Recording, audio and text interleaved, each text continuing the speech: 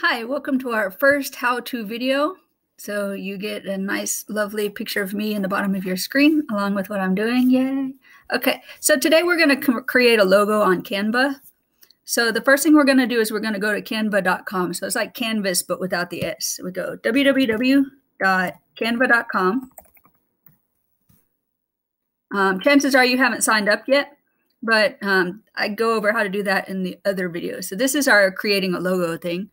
So, okay, so this is my home page. I want to create a design. So I can either go to create a design or I can go to templates. Either one, it doesn't really matter. So from templates, let me click on this. Down here, notice in business, down under there, it says logo. That's what we're doing. Well, where did it go? That doesn't matter. I could, I, I could type in logo. Ta-da. And then I wait. Ah, there we go.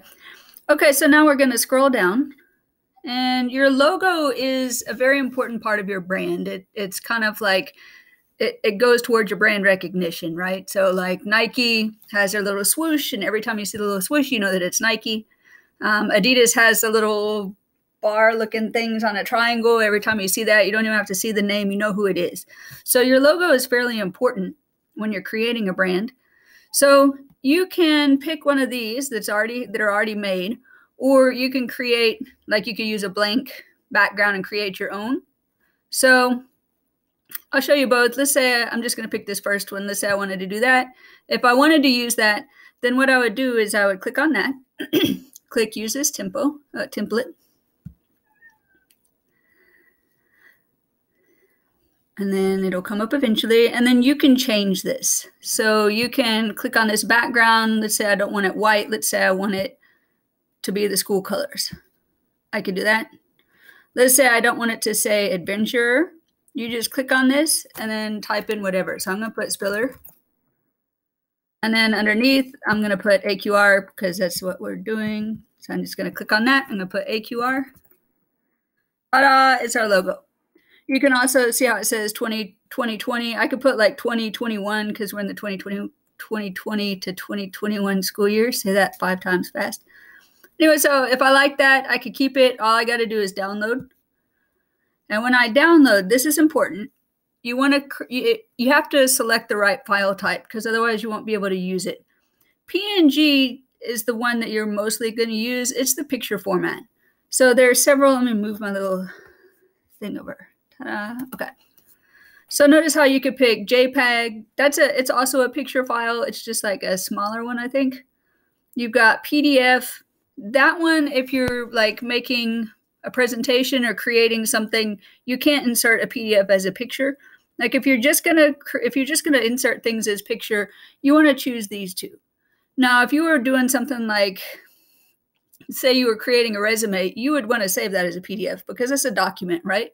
It's a what is it, portable document format, something like that. I have to Google it.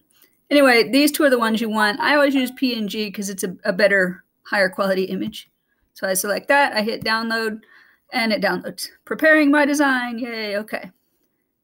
So I'm gonna go to my home page. Okay, so now let's say I want to do a logo, but I want to design my own because I don't really want the ones that are there because they're lame. Gonna move this over here again. Okay, so I can either go to templates into logo, or I can go type logo in the little search thingy and then I wait for the spinning little circle of doom. Okay, I want to create a blank one. So what it pulls up is it pulls up just a blank square. I'm going to put my logo in that. So you can, you have all kind of options over here. So the first thing I want to do is maybe I want to change the background. So I can go down, okay, background. And let's say, okay, let's say I like that one. I'm going to click that. Now you notice this one says free. So there are always like choices, like you can upgrade different sites and this is one of them. So you you always have options where there's some like super super nice ones that are like way cool and over the top, but they're like premium feature and you have to pay for that. So I always look for the free ones, mostly because I'm cheap. Oh, this one's cool. Now keep in mind that for your logo, you want it simple because you're going to be putting this on all kind of stuff. So really, actually, I think I'm just going to choose a white background because I could put that into documents. Okay, the next thing I want to do is I want to put something in there. So I'm going to put something cool like these are cool. So these these grids right here, okay. These frames are neat.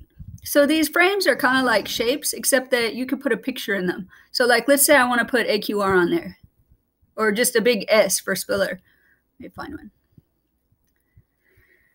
Okay, here's my alphabet. So let's say I put spill over here. Now for my logo, I'm going to want to not go this complicated, but we'll just pretend. So once I have this, this is a frame and pictures go in that. So if I go to photos, so you can search photos or you can upload your own photos. So okay, so I put I put flowers in there. So if I just click on it, it puts it in the middle of my frame. I don't want that, so I deleted it. But what if you if you drag it and hold it over that thing, it puts it in the S. See? So now what I'm going to do is I want to add some text because I don't want it to just be S. So I'm going to use this. Doesn't matter which one. You can resize it. I'm to put spiller. Complete my spiller. There we go. Spiller. You can change that. Like right now, it's black. If you want the text to be a different color, you just highlight the whole thing and click on this A with the rainbow underneath. It says text color. So like, let's say I want it Summer Creek colors. Ooh, okay. Yeah, so I do that. And then let's say, okay, well, I'm going to use this differently. I want my logo to stand out. I'll go, okay, well, I'm going to change the background. So if I have this highlighted, so it has a little turquoise box, if I click on these colors, it lets me change the background color. So since my letters are in maroon, I'm going to put the backends in gold.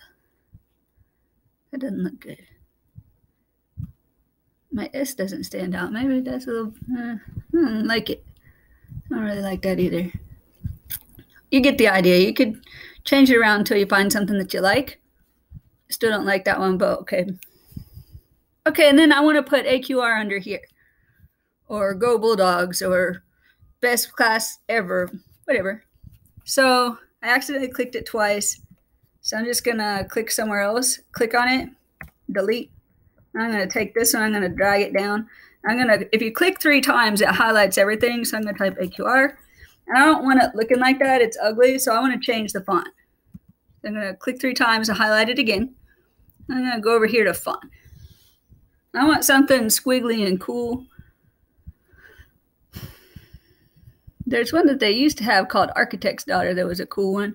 But that's okay. What about Benedict? Mm. Ooh, Buffalo. Oh, see, see this one? So, because I'm a teacher, I have the Canva Pro edition. For y'all, y'all are gonna have, I think you just have the regular edition, like the free one. Notice how this one has a crown. This crown says this is a premium feature. So if you just have the basic free version, if you choose this font, you have to pay for it. So be careful with that. Now notice, see, this one doesn't have a crown, so this one's free for everybody. So if you just have the basic version, you know, we're just practicing with this. So unless you're using it for your actual like business or whatever, I would totally go with the free version. They have all kind of other stuff. Intro skips okay.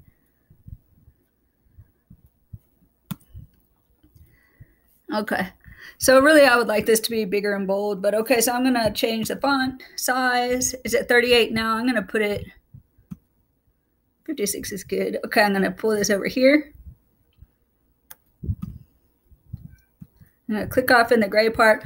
Okay, so there you have a basic logo. It's lame. It's not one that I would use, but it is a basic logo. So it says Spiller AQR. I could put something interesting underneath. Um, something that sets you apart as you. So like if I go back to home,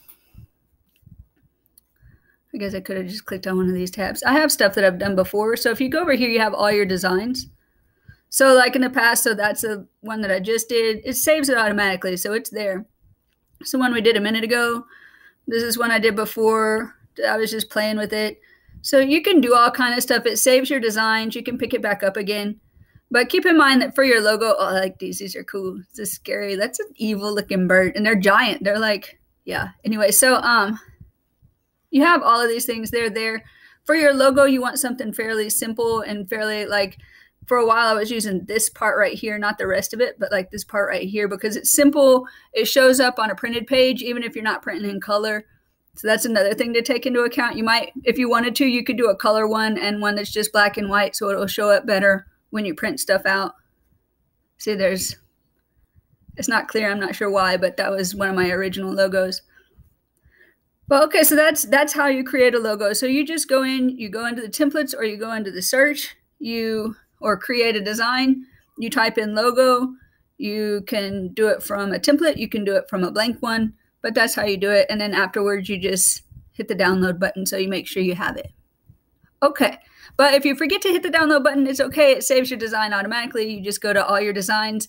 And so like say I wanted this one. If I click on that, and wait for the circle of doom. It comes up. So like it's here, so I could download it anyway. So even if I forgot to download it and went, oh no, I forgot, I could go back here, download it, and I still have it. Okay, that's it for this one. So your assignment then is to create a logo.